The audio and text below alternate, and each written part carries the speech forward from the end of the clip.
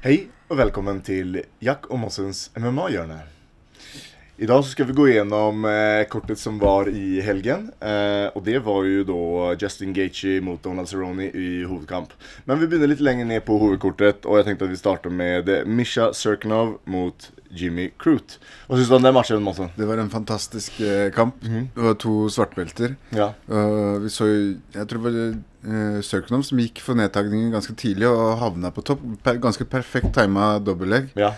Uh, og Sørknov uh, Nei, uh, Krut jobba bra fra bånn, fikk reversert, og det var mm. scrambles hele veien. Mm. Det var Og det var i de scramblerne at eh, han Sørknov kom bedre ut av det, og så gikk uh, Det for var et angrep. Og det var faktisk, eh, jeg vet ikke om du husker det, men eh, et veldig nydelig sweep som, eh, som jeg så i reprise et par ganger. Det var utrolig pent, fra Serkinov. Eh, og det er det som er siste reverseringen, der, der han ligger litt dårlig til på bunn. Ja, Men, men får et utrolig pent svep og, og kommer seg på topp. ja. Um, ja, og derifra så blir det vel noen uh, transition hvor han får uh, kobla Han kommer i turtle. Han kommer i turtle, ikke sant? Ja, og så går han på en uh, uh, Ja. Mm. Ja, der, derfor har plutselig kobla arm og ho hode, og, og så ser vi eh, noe som vi kanskje ikke ser så ofte. Nei. Og, og det var jo utrolig fett. Uh, å få se litt variasjon i, i submission-gamet. Så en Peruvian necktie for å avslutte. Det var det som måtte til for å catche Crute, og Mm. Sørkunov hadde det. Det var helt fantastisk underholdende kamp. Ja, jeg syns også det. Jeg har jo, jeg, har jo trent med Misha Serkinov nå i sommer. Eh, når vi var i Las Vegas. Ja. Og, uh, og vet hvor utrolig tung eh, han er på topp, og veldig veldig god på bakken. Så uh, ja, en imponerende utøver som uh, definitivt enda det bedre på bakken i lett tungvektsdivisjonen. Ja, og begge disse gutta var ganske bra stående. og Det åpna bra stående og utveksla Ja, kroppsspark. spark, ja. Skikkelig Smalt, smell i de sparkene. Mm, Så det, det var en fantastisk åpning av hovedkortet. ja. Hva var neste, da? Neste var jo Uriah Hall mot uh, Shoeface, eller Shoeface. Antonio Carlos jr., Yes. som også var uh, en banger banger-on-kamp. Ja. Uh, Uriah Hall ble catcha litt uh, tidlig av uh, Carlos, noe som eh, ikke jeg og veldig mange andre uh, forventa, vil jeg tro. Mm. Men Hall eh, holdt seg skolert, jobba med jabben og, og leda første andre runde på poeng. Definitivt. Og så kom uh, Han ble tatt ned. Han jobba uh, veldig bra, han eh, Carlos, på Fåne Hall. Og fikk, uh, fikk tatt ryggen hans stående, egentlig, først, i første runde. Og, hvor eh, Hall eh, eh, Jeg tror det var første runde. Hall eh, sto og forsvarte ryggen stående Veldig lenge. veldig lenge. Og der ble jeg veldig imponert over roen hans. Ja. For han har tross alt en av de beste mellomvektene eh, på bakken, liksom. Han, På ryggen sin. Jeg vet at han har plasseringer i VM og så. Han er ordentlig god, han uh, Shoeface. Ja. Og eh, holder seg iskald. Leter etter den doble grepet på to på én. ja, og Og lykkes få det på andre siden. ja. Og skaker av han der. Ja. Veldig veldig kaldt og pent. eh, teknisk, taktisk Ja. jobba. Og så setter opp tempoet stående, og så ser vi at eh, Hall eh, har fortsatt litt mer snert enn det Carlos har, ettersom Carlos har prøvd å holde igjen Holde grepet og Mm. Få, fått, sikkert fått en del med melkesyre. Mm. Eh, og så eh, drar i vei på poeng, men eh, i tredje runde Mm. eh, så får Carlos ryggen igjen. Ja, det får han, og, og det, det er Ja. Der husker jeg at han, han ligger vel i stort sett hele runden og, og jobber på, på ryggen på han. Men, yeah. men han ligger kald og forsvarer og vet at han har to runder i ryggen. Yeah. Og lykkes å vinne den kampen. vinne den, ja.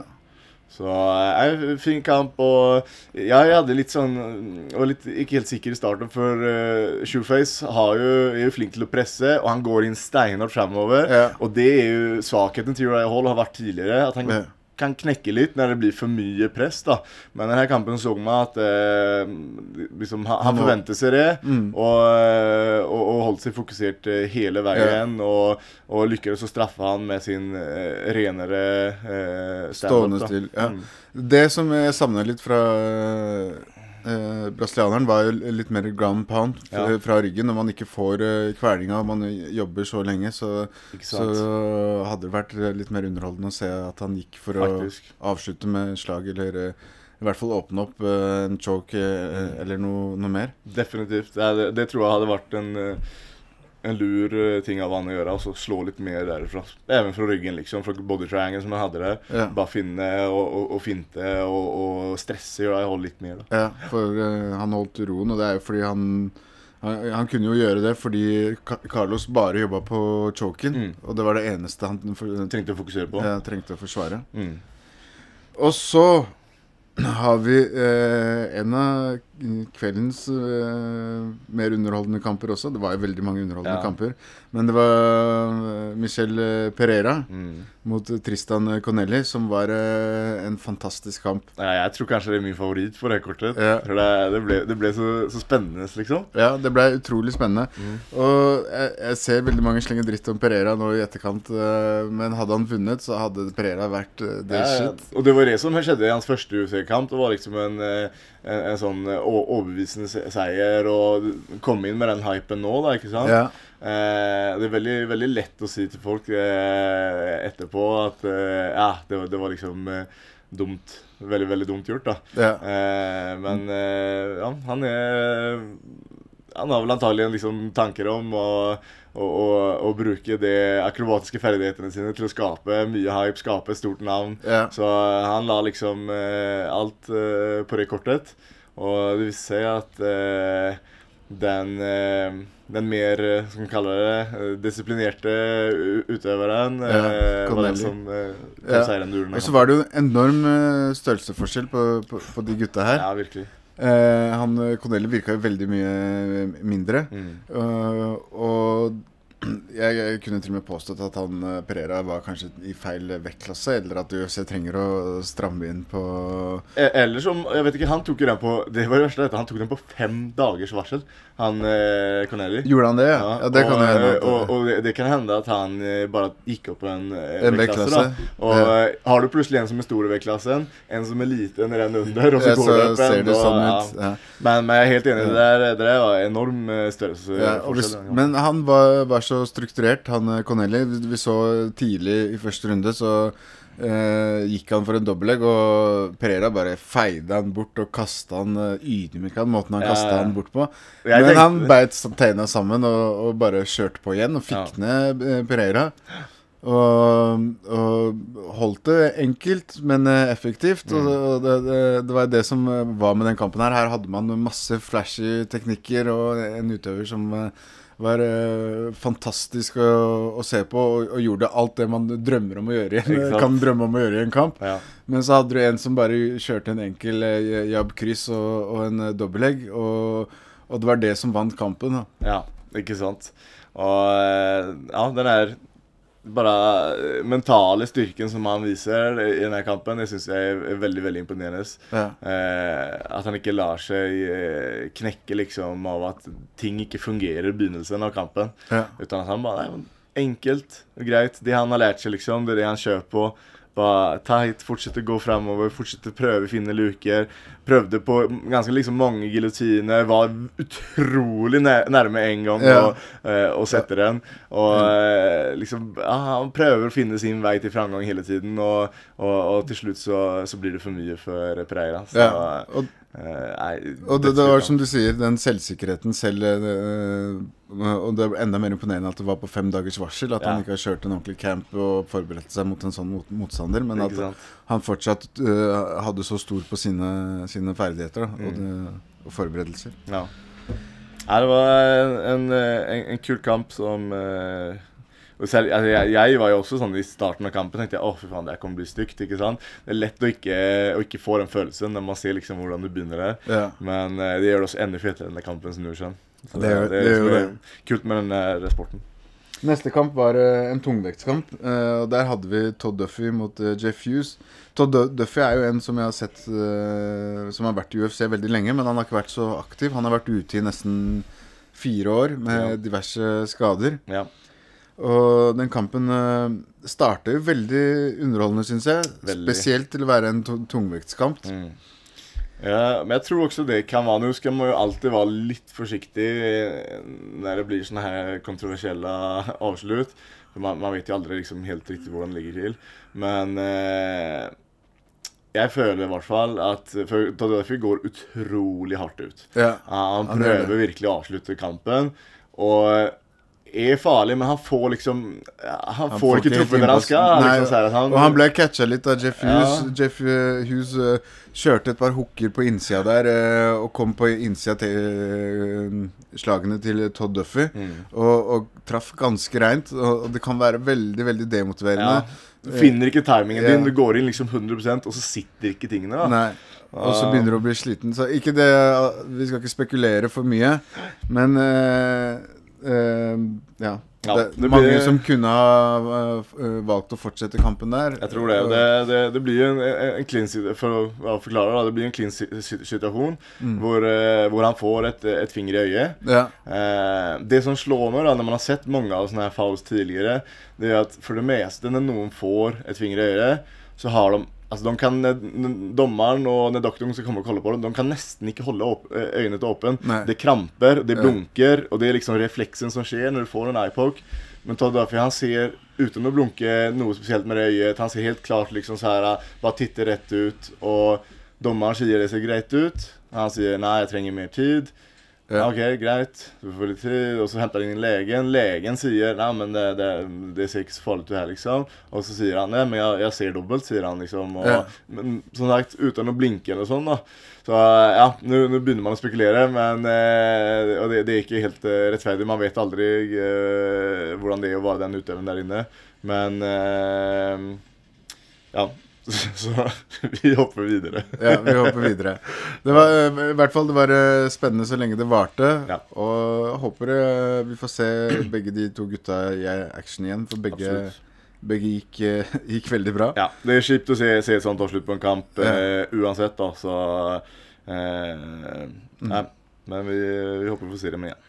Og neste kamp, lett eh, tungvekt. eh, og der hadde vi en eh, ordentlig veteran mot eh, en Jeg vil ikke kalle han unggutt lenger, men en Ja. up and comer. Ja. Glover Texera mot Nikita Krylov. Mm. Og det var også en banger av, en kamp. Den var kamp. Og den var virkelig stående bakken nedtagninger. Den hadde alt submission-forsøk. ja, Og, og taktikk, ikke minst. ja. Utrolig vanskelig kamp å dømme og følge med på.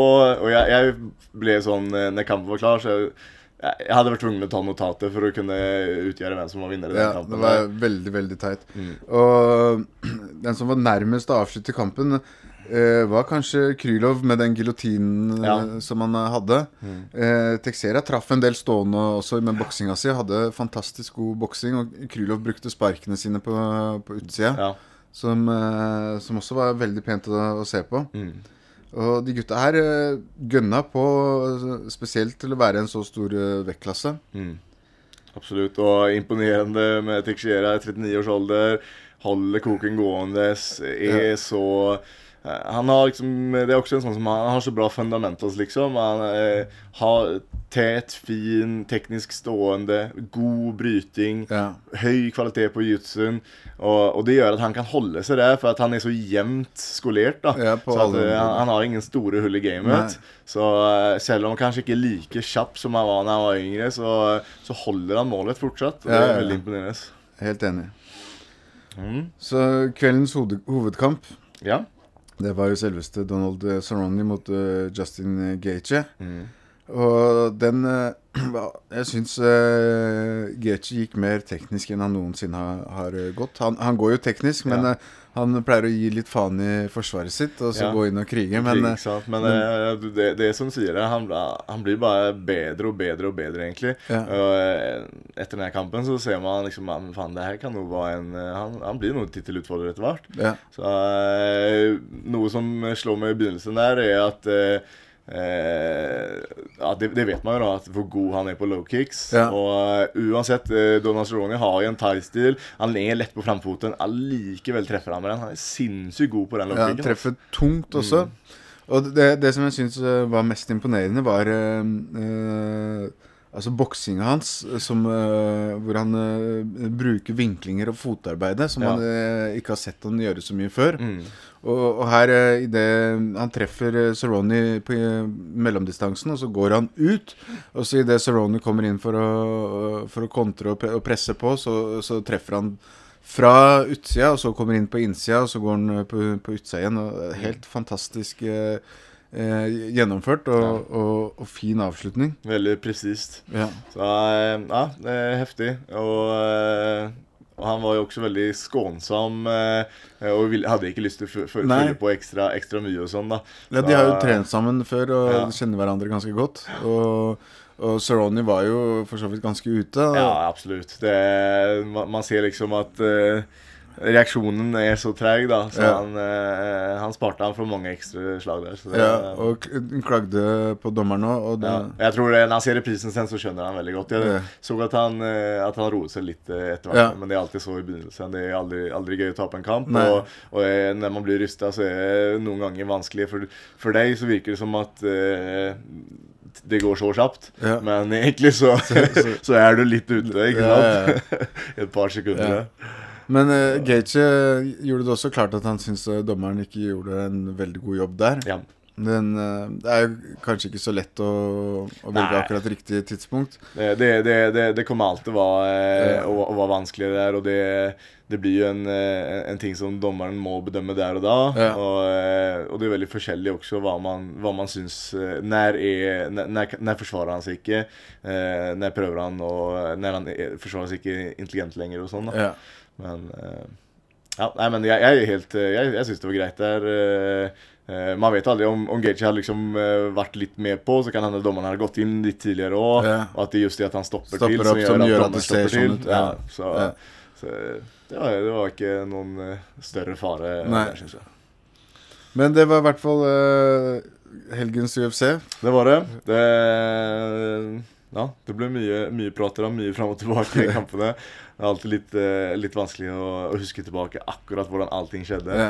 Men jeg tror vi fikk med store helheten. Så eh, utrolig spennende kort. Eh, så jeg husker ikke hva som er neste nå, men er det mitt, eller?